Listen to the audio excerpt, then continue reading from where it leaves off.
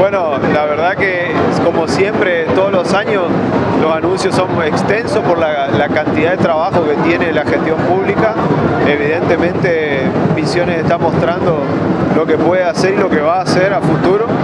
Y bueno, habrán visto que nombró también a, los proyectos del parque industrial, la producción de hidrógeno, Misiones diseña y las radicaciones que tuvimos en estos últimos tiempos, lo cual nos, nos hace estar muy contentos y seguir metiéndole ficha.